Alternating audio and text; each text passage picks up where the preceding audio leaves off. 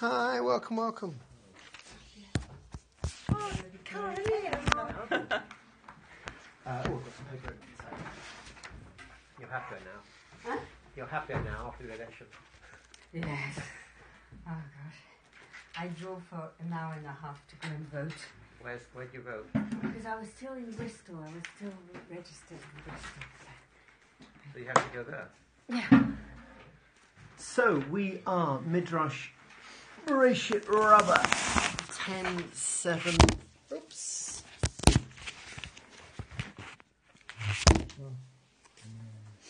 Maybe you probably got with If first you don't succeed. Um, and this I love very much. Do you need you need Hebrew? You need Hebrew. Thank you very much.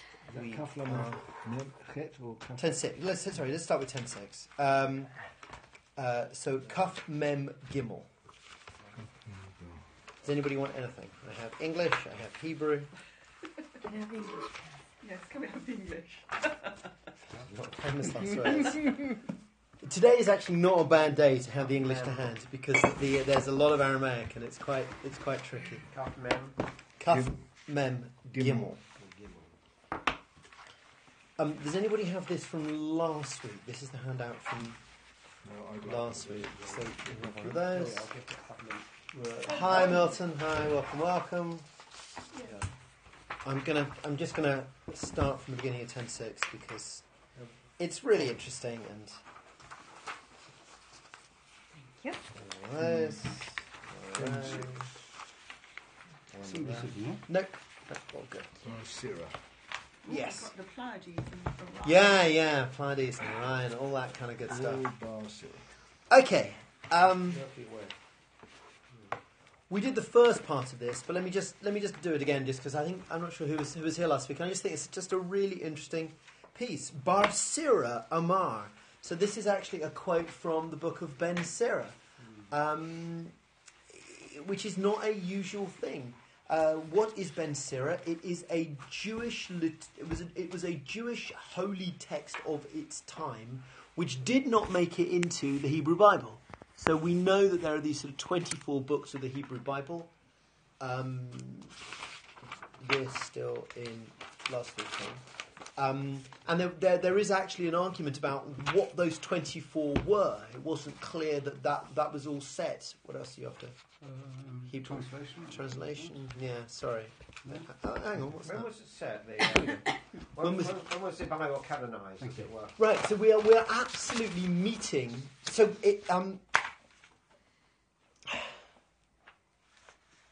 um in the Mishnah, in Mishnah Yadayim, uh, with a bunch of people like Rabbi Akiva talking about it, there is an argument about which book makes it into the, canon of Tanakh. Um, and, and there is a question raised about Shir Shirim, and Rabbi Akiva says, you know, Shir Shirim is worth the entire Torah, you can't kick Shir Shirim out.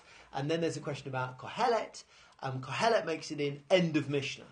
But what, what seems, what you can probably deduce from that is that there was another one that didn't make it in.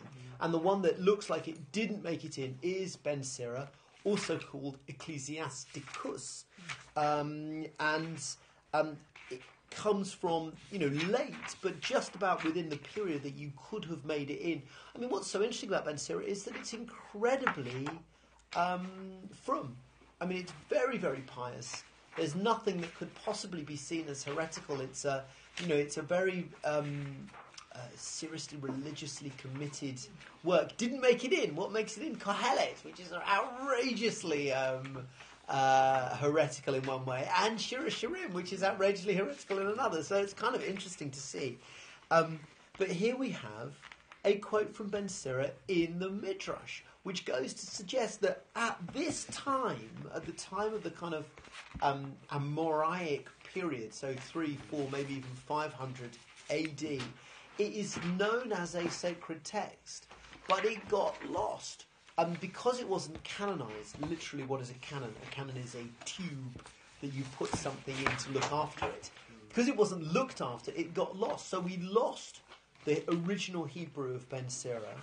Um, we have scraps of it which are retained in midrashim like this. There are probably five or six examples in rabbinics of Ben Sira being um, uh, being cited and cited almost as a biblical verse, which is kind of interesting. Um, but not the whole thing. The whole thing was preserved by the uh, Roman Catholics, well, the Greeks, uh, by, you know, pre, uh, by the Church, who who who canonized it as an intertestamental work, right? So Old Testament, New Testament, intertestamental work with things like Maccabees and Judith and um, Tobit and Jubilees and um, you know the, some of those kinds of some like Enoch, the Book of Enoch, and some of those kinds of works. You may also hear the word um, epigrapha or even pseudo epigrapha uh, used to refer to what the Catholics, what the Christians religiously refer to as intertestamental, and other works of that kind of period. Um, Was the Hebrew the same Hebrew as, as used in all the in the, in the other, or or, or are all the uh, the books that made up the Torah that made, made up the uh, what for us the Torah is the Hebrew the, the Hebrew- Tanakh, the the Hebrew Bible. The sorry, the, the full the full Hebrew Bible, or the, the when you say Torah, do you mean Chumash or do you mean Tanakh? No, I mean the Tanakh, right? Which, which is this part? Yeah, Torah Nevi'im and Ketuvim. Yeah, Yeah, so, so yeah. the whole thing. No, um, and you can see all kinds of evolution of the Hebrew. Uh, I remember reading something about Hallel. Um, uh, um, the scholars believe that we can date Hallel to um, First Temple period because of some of the Hebrew that is used in some of the verse. Um, Kol tagmulohi alai. Like it just doesn't feel like that is an as old a bit of Hebrew as the Exodus narrative. So you know, so it, it's it's later. Um, and then the key thing that tends to happen is a lot of Aramaic creeps in late. So the book of Daniel, which is usually referred to as the least ancient book to make it into the canon, there's a lot of Aramaic in Daniel. I mean, I the, mean, script, the language- script's the same, isn't it? The, the, the, the script. script, alphabets and gimels, correct. Yeah. But we don't, yeah. But but but but the original script was not this, right? So um, I mean, you know, this is this is not. Um, uh, th th this is a later script from some early, you know, some of the earliest things that we found in Hebrew look quite different.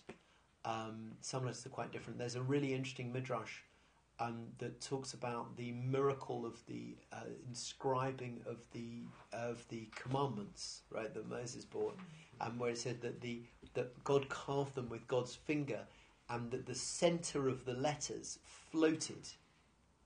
Right, ca- carved all the way through the stone, and the center of the letter floated, which would be great if there were any mem sophites or samachs in the Ten Commandments, which there aren't. So you know, clearly there were other letters that had a, uh, a, a circularity to them. So I mean, there's lots of stuff to be. Um, um, you know, you can dig up very old. I think they call it like kind of paleo Canaanite or something. You know, like this sort of pre this alphabet alphabet. I'm not an expert on that. Epigrapha as opposed to apocrypha. Sorry. Uh, apocrypha. Sorry, You- yes, you- apocrypha, you apocrypha and pseudo-epigrapha. Sorry. And. Yeah, apocrypha. Yeah, apocrypha and pseudo-epigrapha. Sorry, Yeah, no, no. I mean, I, I'm not. All of this kind of stuff is stuff that they just don't teach rabbis because it's not canonical, right? So therefore, Right. it's of useless. But right, so pseudo-epigrapha means books that look like they have been written in someone's name, Right. right? So you know, hi, I'm Enoch. Let me tell you what I did today. That is pseudo-epigrapha because although it says hi, I'm Enoch, we don't think that it is by Enoch. We think that it's an apocryphal, intertestamental, later work, Okay. not written by the guy who turns up in Genesis. Eponymous. Well, Well, epi- epigra- so. it's pseudo, yes, pseudo epigraphical. Right. Um, okay. Yes, but I, I, I'm, I'm, I'm not. I have absolutely no grounds on which to stand to be kind of precise about that language because Okay. I'm not myself. so here's Ben Sira, and you've got the quote from Ben Sira, and I've given. And then those of you who've got last week's handout, I just dug up um, the quote from um, Ben Sira. It's Ben Sira chapter uh, 38, um, and it's just a really interesting quote about the value and the the, the, the, the godliness of doing medicine, which in itself is really interesting, right? Ben Surah ma Eloha la min haaretz.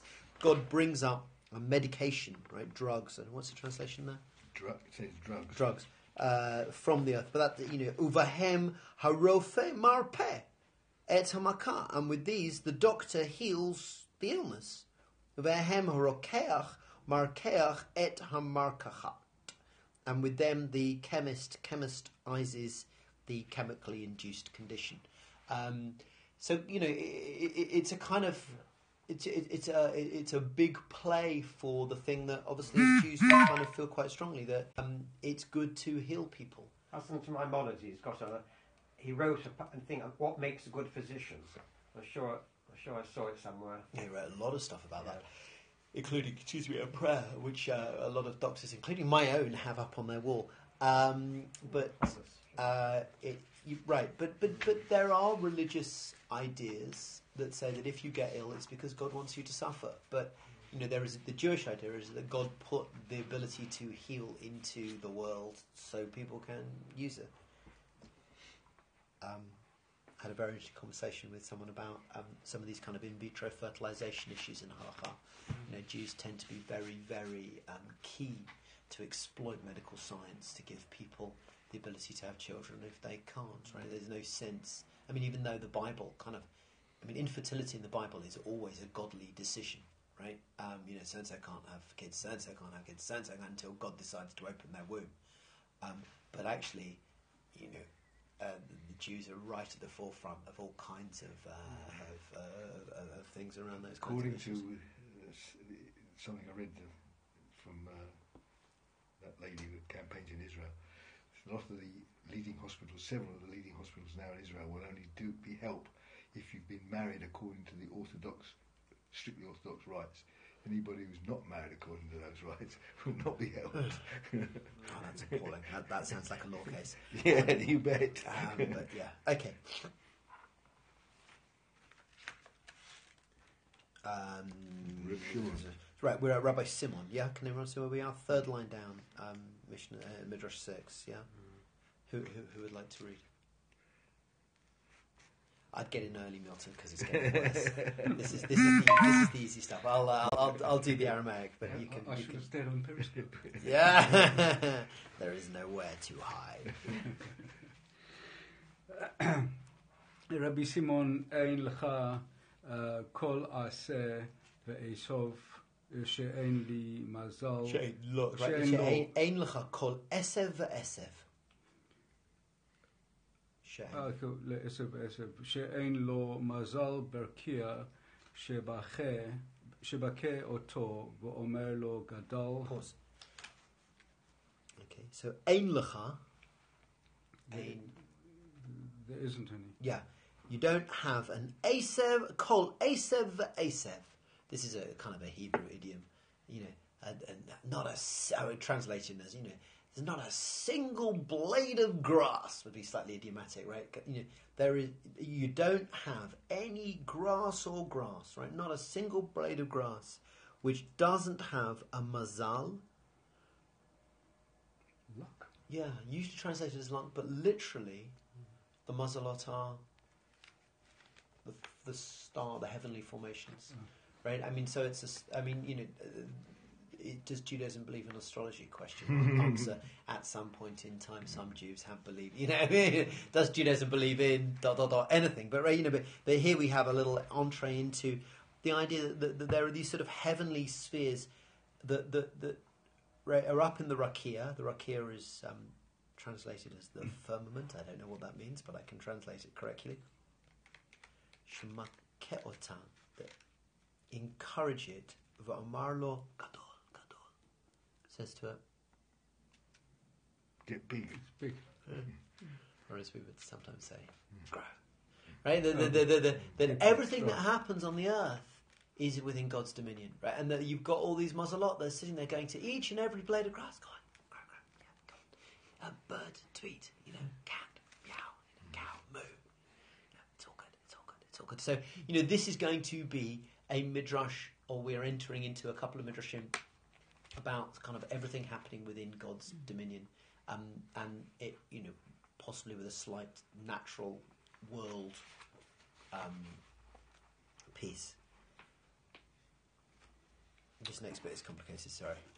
Uh, Hadahu diktiv uh, hayadata chukot shamayim ve'im tasim tishmeru ba'eretz ve'im tasim tishtaru.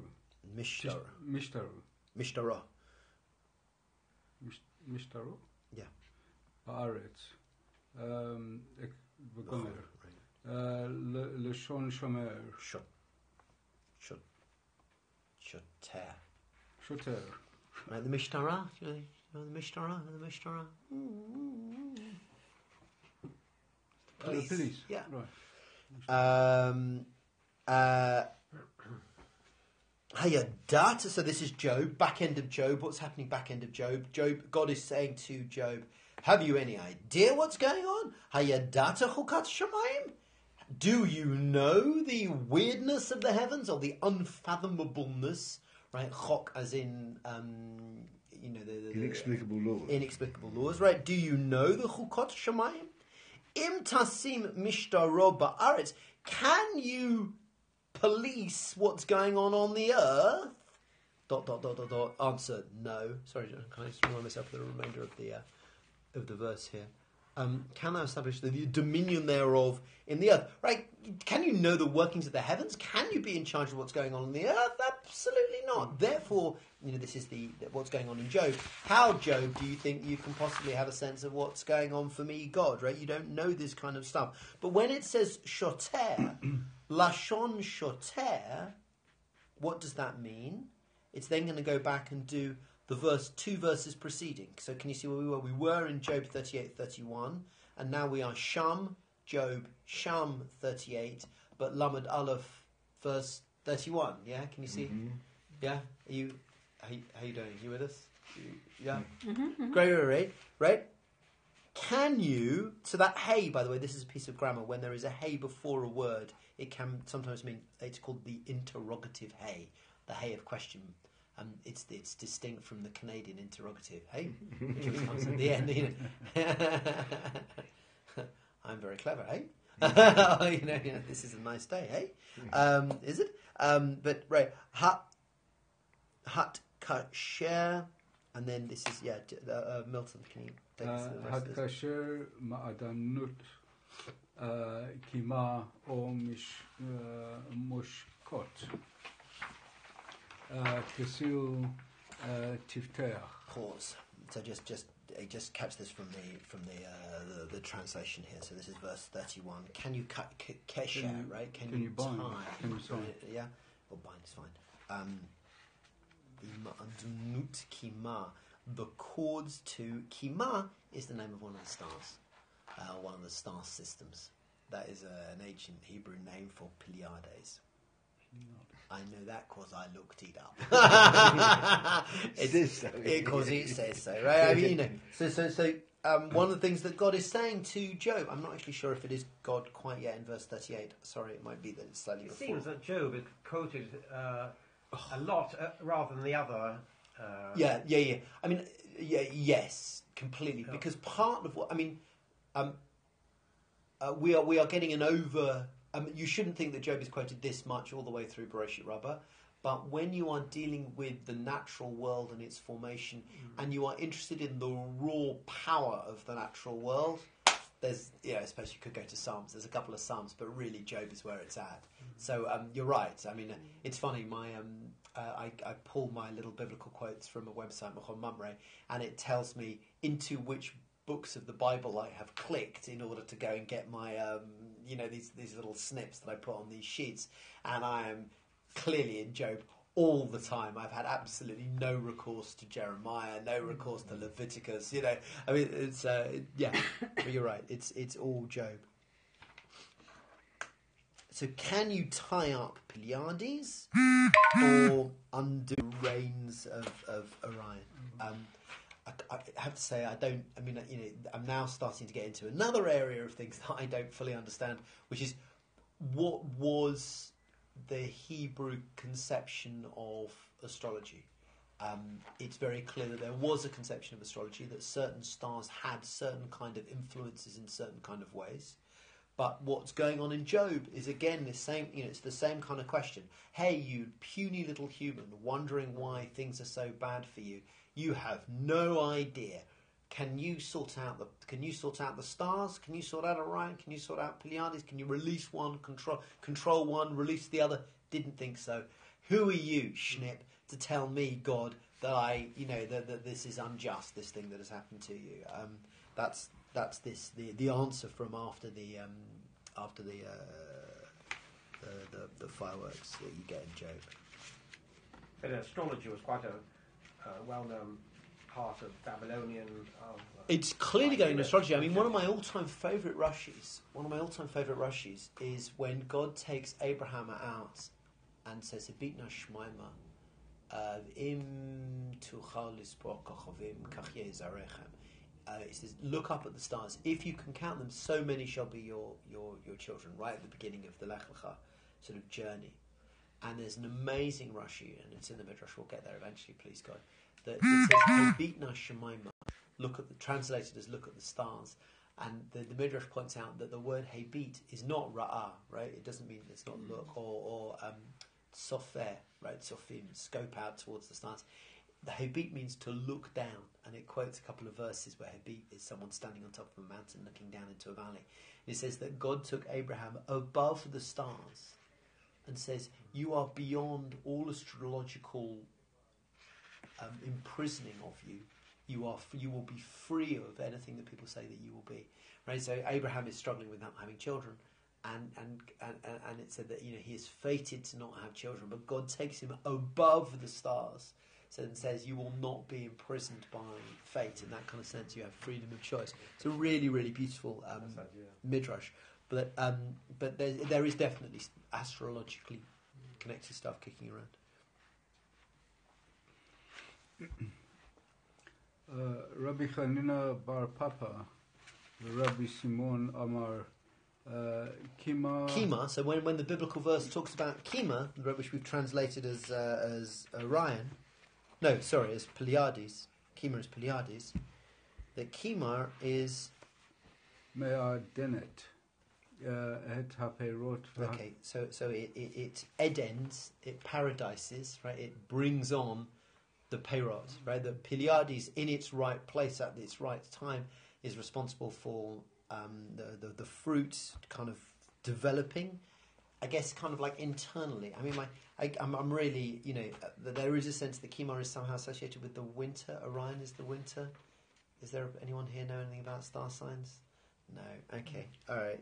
So, so Kima, Ma'adanas Perot, um, brings on the fruit, and Ksil, which is Orion, uh, Moshe ben Kesher lekesher. It Uh, draws. Yeah, it draws on between between the knot and the knot. So nobody's got the slightest clue what mean, what this means. I've been in and out all the various prophecies, uh, the, the various commentaries, and then the Albeck, and there's the. Uh, it's probably got something to do with sort of filling out, uh, sort of you know, the, the, the, the way or the way the bud comes out from the way that branches kind of uh, stick together. Um, Hada- Hadahu dichtiv.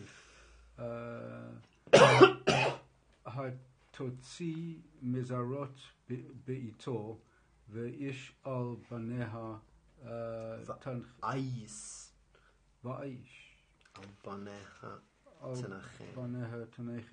Va- tanch Ais va'ish al-baneha al tanachem. baneha tanechem tanechem. Right, so the interrogative, hey, can you, Yot say, can you take out the Mazarot at their time? Mazarot is Mazalot. Can you take out the stars at their time? We're back in Job, right? Can you take out the stars back in their time? And the and this is and the and the Ais is the is the bear. It's the um what's it called? Canis Major, the, the big bear. Um, you know, an example. Can so again, you know, God's saying to Job, "Can you move the stars around?" Um, there's the, the, the, the bear and it's um, on it, uh, the big bear and the little bear, right? So that's the Ya'as al Baneha, the big bear, and its its uh, son, her son. Uh, Rabbi Tanchum Bar Chaya, Rabbi Shimon Amru Mazalhu Shehu Mamzer Et HaPerot. Yeah. So when it says the Mazarot, that is the star sign which mumses the fruit. It's the star sign which mumser, mumser. Yeah, How can they usually translated bastard, right? It was sort of i- imperfect, right, or Right. messes up or destroys the fruit. So you've got some some star signs that bring on the fruit, some signs that that, that, that make the fruit go bad. I, I have to say, I, re- I, I- really don't understand astrology. As far as I was aware, all the stars were all present in the sky at any one time, but there is apparently something about a star that's directly on top of you, depending on where you are and the time of the year. And they, the star signs rot- well, the star signs don't rotate around the Earth, rotates around the sun in such a way as to reveal different stars at different points in the year. Um, How can they identify certain of these words, kima, whatever, with with the certain uh, stars? Yeah, I mean, if, I would imagine the best place to go would be Ibn Ezra. Um, I, and oh, people like Radak, who, uh, David Kimchi, who is one of the major commentators on Ketuvim, who I suspect will have a long uh, written explanation as to precisely which star that is. I mean, we can't identify, I suppose, completely perfectly, but but it, it, it um, unless I, I don't know. I mean, But it's a tradition, I presume. yeah, I mean, there, there, there will probably be midrashic tradition, Yeah. yeah. uh, Parshanut tradition, commentary tradition. Um, there might also be star maps, ancient star maps, things that get dug up. Um, the names of the, I mean, there's a there's a very famous um, um, star sign uh, mosaic in uh, the synagogue in Bet Alpha, which dates to before this time. So you know, uh, who, yeah, I mean, there's there, there are just different ways of doing that kind of. It's called um, higher biblical criticism. Well, you know, it's, it's sort of philological work.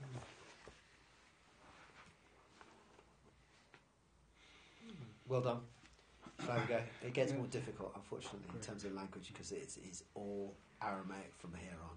Here we go. I haven't even. Uh, uh, um, we're not quite there yet. Uh, Rabbanan Amri, the rabbi said, Afilu debarim she'atem ro'e'atam shehem yetera ba'olam kgon zvuvim ufirushin v'yitushin afhem bichlal briato shel olam. The rabbi said, even dvarim, even things that are ro'e'atam, you look at them, that they are yetera, they are extra ba'olam, they are unnecessary for the world. For example, fleas, gnats, and flies. you could translate that gnats, flies, and fleas, or flies, gnats. I mean, even think of this that you just don't think there is any point to these things in the, the world. And boy, haven't we all thought that. Afhem, bichlal briyoto shel. Even then, are in the category in the in the in the in the in the klal of the creation of the world. Um, another thing that I think is possibly going on with that use of that word bichlal. What what what does that word bichlal possibly remind you of? Does anybody remember what a lectionary verse is? Could this? He seems to have kind of long forgotten it.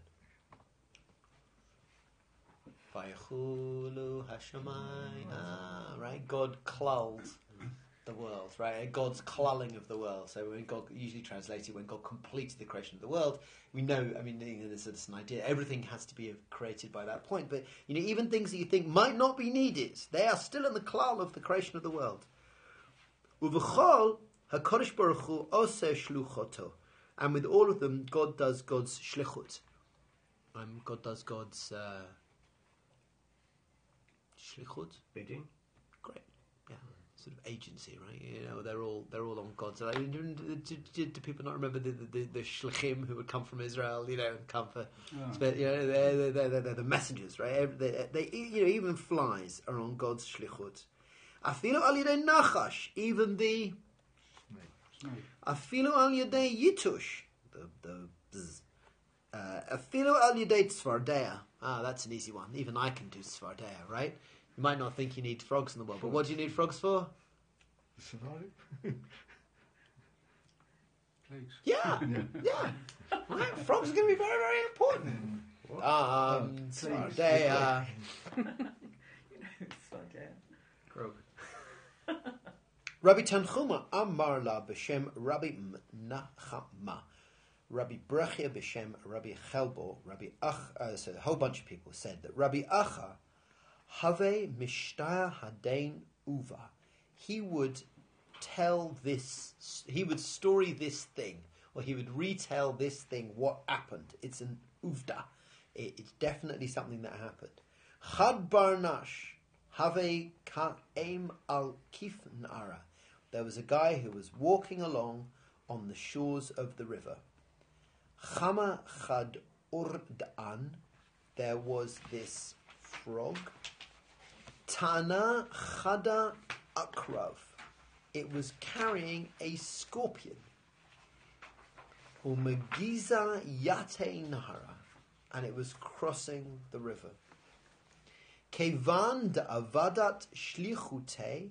When it had eved, avadim hayinu. When it had eved, Worked. yep. When it had worked its shlichut, when it had worked its Mission. When it's worked its mission, Achzarte la'atre, he took it back home again. This frog carried a scorpion over to the other side of the river. Scorpion went off. Frog just waited around, checked its nails. Scorpion comes back. Scorpion gets get back on, and the frog swims off back with the scorpion. What was the what was the scorpion's mission? What do you need a scorpion for? Sting Sting. Yep. Right? You know, God, God, God needed this person stung, so God got the scorpion to do it and said to the scorpion, "I'm going to put a frog there to carry you across the river, and you'll." Right? And and then it, and then it came back. So we, we, we're into the world of sort of mythic uh, folklore. I mean, you know, my, my mind went straight to a story that I thought was old, but apparently it only sort of began in 1954. Right, the story of the uh, the scorpion on the frog's back, and the scorpion says to the frog, "Will you take me across the river?" And the frog says, "You'll sting me," and the scorpion said, "I promise I won't." And halfway across, it stings the frog, and the frog says, "Oh, you idiot! We're both going to die now." And the scorpion says, "Yeah, well, you know." I, I can't act against my nature, can I? Turns out that's a 1954 story, and nobody can find it going on any older than that. But um, mean, what is it? The, the fables, the fellow who fables, it's, it's exactly the sort of thing he used to say. yeah, yeah, yeah, The, the Greek absolutely right. Aesop's Fables. Aesop's, Aesop's Aesop- Fables. Yeah, yeah, yeah. This one isn't in Aesop's Fables, but I did look up some scorpion frog stories on Wikipedia. Um, and actually, here we go. Wow. The image of a scorpion carried across a river by a frog occurs at an earlier period in the Babylonian Talmud. Well, it's in the Talmud. Um, where is it in the Talmud? It is. I think that's probably a miscitation. I shall go online later on. Correct that in Bereshit Rabbah, um, though with a different outcome and purpose, right? Because the frog, the scorpion doesn't die. The scorpion crosses the river, stings a man, killing him. This is said to illustrate how God's will is filled in seeming impossible ways. An Arab variant, this I thought was interesting, is found in a Sufi source that illustrates divine providence with the tale of a scorpion that crosses the Nile on a frog's back in order to save a sleeping drunkard from being bitten by a snake. In neither of the above, however, is the frog harmed. I thought it was quite interesting. Um, I haven't had a chance to check that Sufi story. Um, and I also found for you Delectation and Amusement, an 1847 illustration of the scorpion and the turtle from the Persian Kalila and Dimna, an ancient fable might inspired the scorpion and the frog. I mean, the, the, in the in the turtle and scorpion one, the scorpion tries to sting the turtle, and the turtle says, "You idiot, scorpion! Why are you trying to sting me? Don't you realise that we'll both drown?" Um, it's much harder to sting a, sc- a turtle. 'cause and the it- turtle, of course, doesn't die because the turtle has Shell. a shell. So um, we have now proved that, that, that A, scorpions are acting on um, divine uh, shlichut, and B, uh, frogs. And that, that, you know, God's ability to kind of get the scorpion and the frog doing this stuff is really quite intense. I mean, you know, you get the scorpion waiting there, you know, schlepping it across, waiting, bringing it back, and I can't get a taxi to wait for me when I go to a funeral. It's Everything has a. Everything has a purpose. Everything right, good, exactly. So, yeah. You're fitting into religious category of you know, Everything- everything has has purpose, reason. And everything is on God. Everything is on God's shlichut, right? It's not. It, it's slightly more.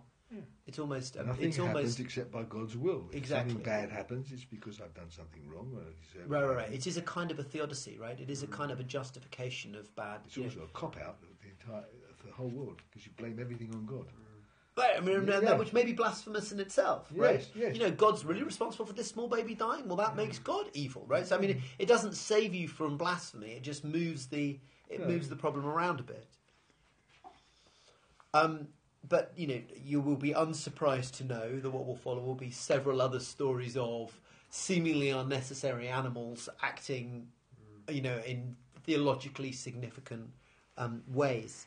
Uh, Rabbi Pinchas b'shem Rabbi Chanan de Sipurin, uh, Rabbi Pinchas in the name of Rabbi Chanan from Sipuria, Amar Uvda Chave. I've got a story, right? Um, Bechad Gavar, Dahave Ka'em Lemechetza Bahada Bikat Be Tarpa. This is all Aramaic. I didn't. I didn't bring you all the clips out of Jastrow. I'm sorry. You just have to trust me. that I, I, I have prepared this properly. Um, if you want to check that I'm translating Ever doubt you? the Aramaic into proper Hebrew, the commentary below the line translates all the Aramaic into Hebrew. It's one of the reasons why I really like this um, uh, commentary. Uh, it translates the Aramaic into Hebrew.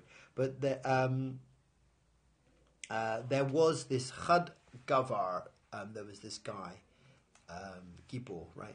Hebrew for hero, but uh, Gavar is a, is a person who was going along at harvest time in the fields of Beit Tarpa.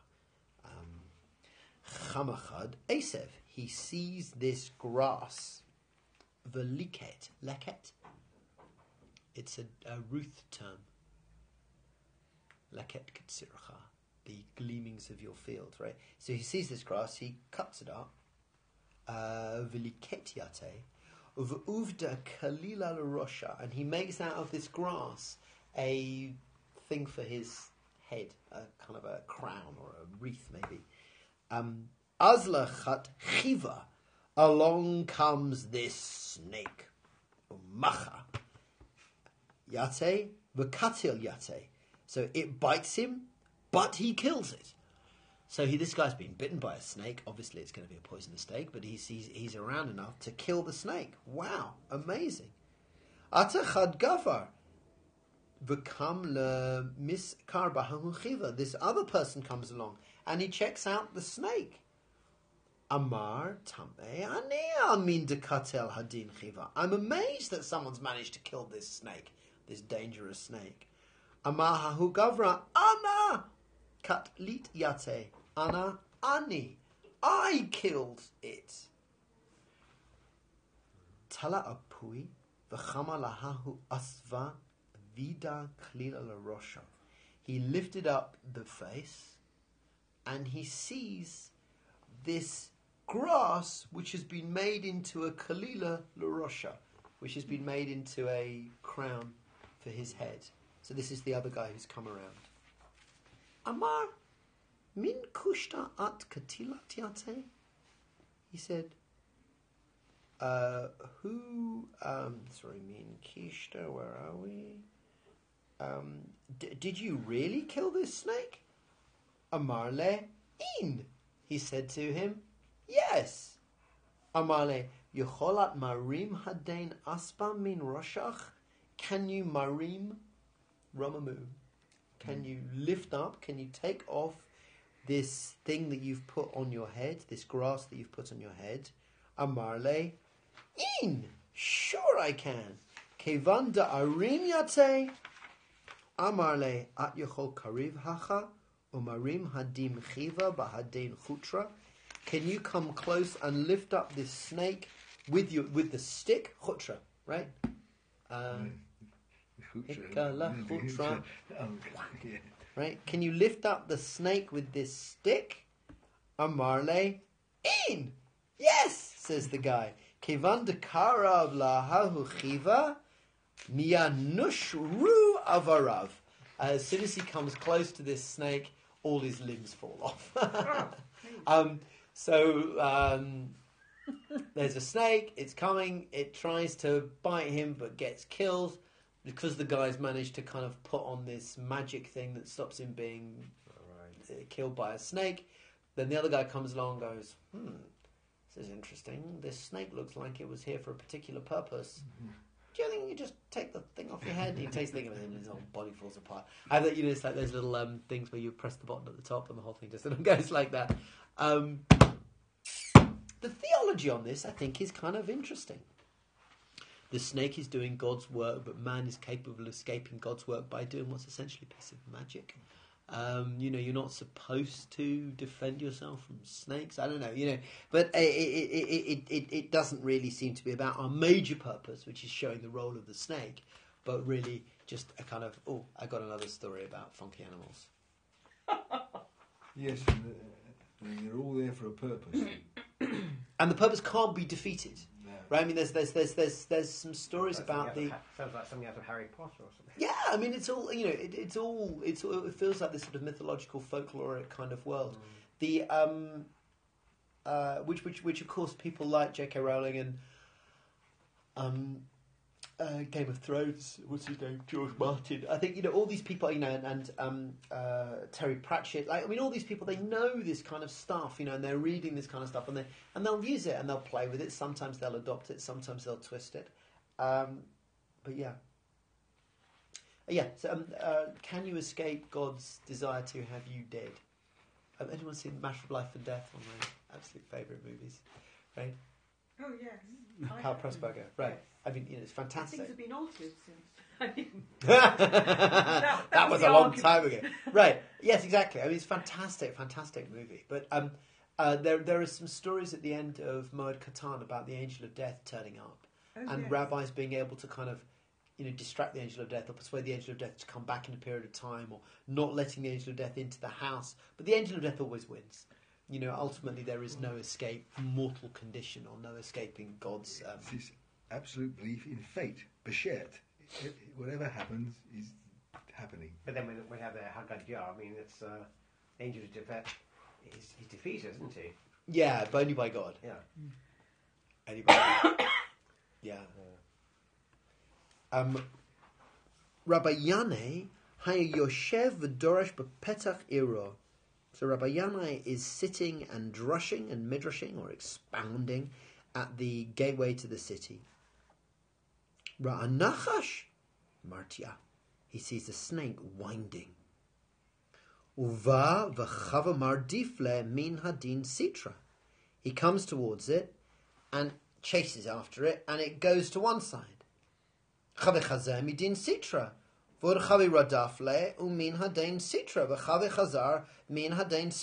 And he goes one way and it goes the other way. He goes one way and he goes the other way.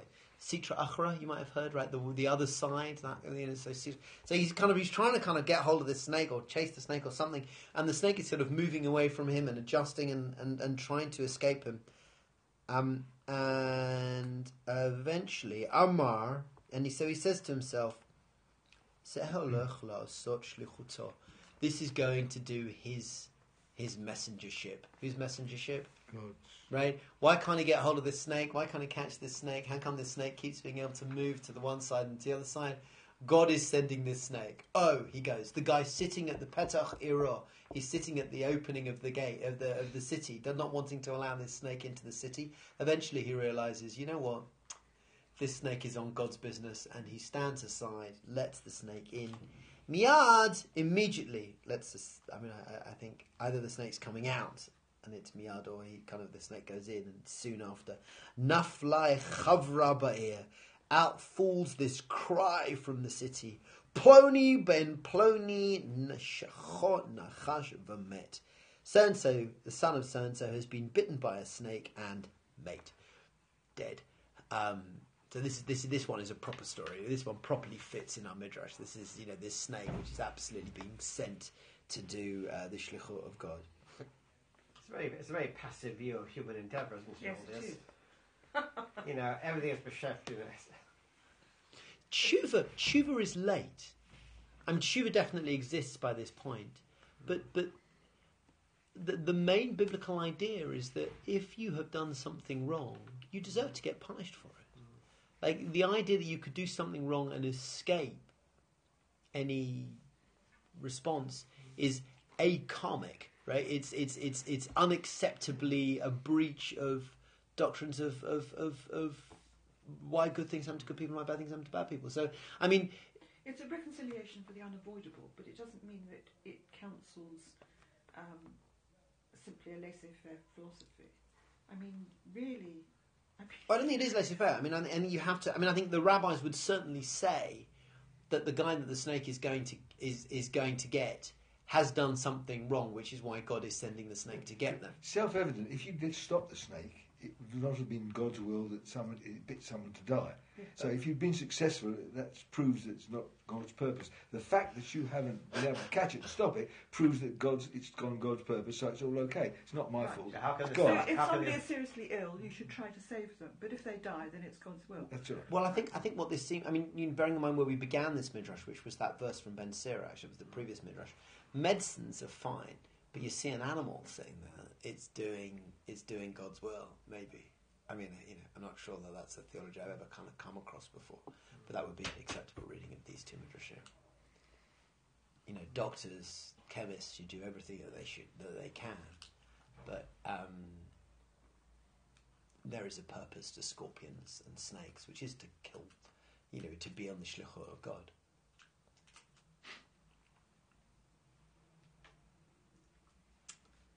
I think this stuff is fascinating. Until the chemist finds the antidote. Until the kind the antidote, right? Yeah, yeah, yeah. Um, Rabbi Eliezer, Have a Yativ Matar Beit Kisei. This is one of my all-time favourite midrashim. Rabbi Elazar is sitting. At, I love this. Matar um, uh, Yatev, Yatev. Um, Taf is, is Aramaic for shin, so it'd be Yashav, right? Would be sitting. Matael to, to go on a tiul. A journey. Yeah, right. He's going on. A, he's sitting and journeying in the toilet. Right. He's sitting on the toilet, but you know, he's he's he's the kind of person who just translate it here to ease himself. ease himself. He's Matayel. I mean, like he's just hanging out. Like he's just like you know, the kind of person who just likes a good long, you know, forgive my French, poo. You know, here he is. He's in the bed, Kise. Um, Atachad Romai. Along comes this Roman, Vitarche, and kicks him off the toilet. Dim yatev v'yatev le, and puts himself there and sits down himself. Right. So I, I think I think you do need to, um, in order to understand this, that he's kind of hanging out a bit too long. Right. The Roman. I don't know how much patience the Roman had, but certainly it's been used up. So he pulls the guy out the toilet, plonks himself down to the toilet. Um, and and is anybody? Did anybody else know Roman uh, Yiddish curses? Roman Yiddish. Roman Yiddish curses. Did anybody else know Yiddish curses about having that you'd curse Romans that they would they would get the the um, uh, diarrhea and have to sit on the toilets with scorpions coming out and biting them on the bottom? No. Oh boy, was it just my grandparents? there were all variations. There are there right. I, I, I tried to I tried to Google one. and I couldn't. I, the only the only quick Google of a Yiddish curse involving the toilet that I could find was "May you go to the toilet either every three minutes or every three months." Which I thought was a particularly vicious Yiddish curse. These words. it's lovely. But I definitely knew a Yiddish curse. I, um, I, I will try and find it for next week. I think I know where I can find it. Um, you know, may may um, uh, uh, uh, uh, these things that come out and bite you in the to- in the in the tuchus. By the way, uh, sorry, I've given I've given the I've given the end of this away, but you can probably guess what's happening at this point. Anyway, um, Spot the story. uh, right, spot the story. And this is part. This is part of. This is part of. I think the fun. Part of the fun is that you know you start off with a kind of a really from verse like Vayachula Hashemayim B'Haaretz, and they're like, yeah, everything is B'chlal Briyotush Olam. Everything is necessary for the creation of the world. What even the Yitush, even the Zivah. Yes, because there was the time when the and by the way, the minute that you say to a Jew, maybe even to a Jew living in 2017 in England, you know the thing where you're on the toilet and the Roman comes and kicks you off the toilet, and our kishkas go, yes, we know that story. That is our story. That is our relationship with the Roman people. That is, you know, and and, and in all our kind of our journey of gullus and exile and everything else, like we we we, we are we are bound in to kind of like resonate to these kinds of stories. Uh, on comes the Roman, Amar, and he says to himself, this guy, let Dain al Magan, this can't, this can't be for nothing. Uh, this can't just be happening without a particular cause. Miyad nafak chad chiva umacha. Um, so you know, immediately up comes this snake, bites him and kills him. And so this guy has been kicked off the Torah. It says v'kara love, and he says upon this, hmm, this verse from Isaiah. Let's just do this. Um, Eiten Adam Tachtecha. So have a, I've given you the um, I've given you the verse from uh, from Isaiah. since thou art precious in the eyes of my uh, precious in my eyes and in my honor, and I love you. I will put a person in your place. Can you see where I am? No. They, um, I'm, I'm underneath. I'm underneath the scorpion and the. Oh Uh, yes, sorry. Right, okay.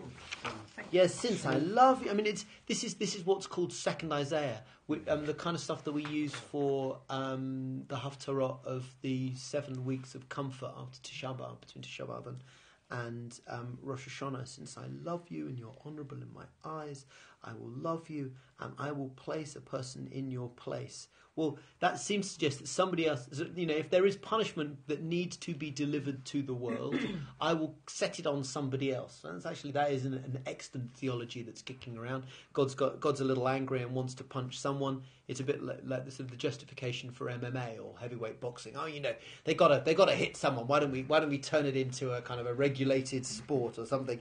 But since you know, I, I, I but but the verse says, "I will eten Adam tachtecha."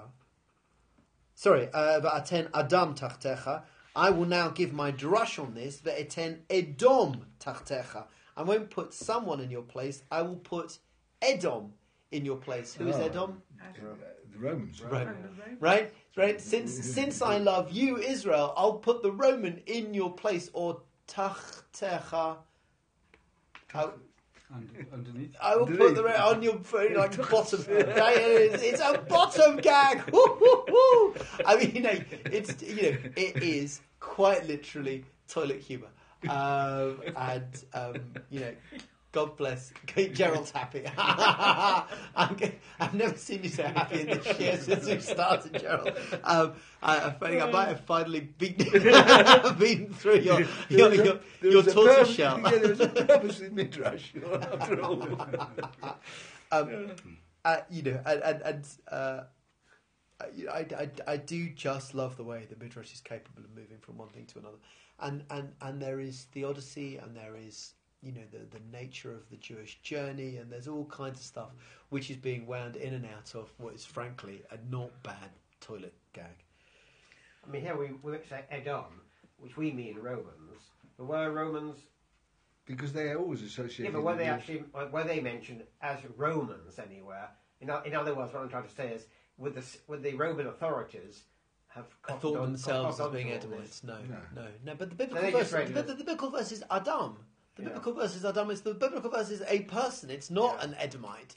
It's not Edom. Yeah. So you know, so it's a it's a gag off the gag, and and the, and the way that midrash is designed to work, that the more that you are steeped into the rules of the game, the more that you kind of instinctively just sort of get it, mm. and the less you sit there and go, well, it doesn't say Edom.